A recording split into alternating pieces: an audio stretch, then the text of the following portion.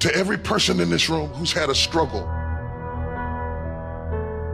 who's had some pains, who's had some tests, who's got some creative ideas, but you've gone through some really tough stuff.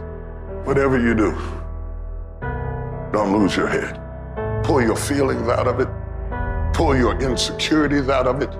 Be strong and very courageous. If you are going to birth your dream, your calling, your passion, you can't draw back when life gets tough. You've got to stand up to it and push. Push through it. Tragedy and trials come to everybody. Only the strong survive.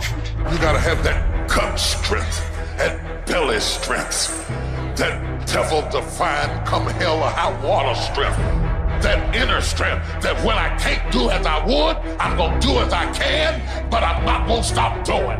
If you start something, you're gonna finish it. Make a way. Figure it out, adjust, pivot, have a certain level of mental agility, and get it done.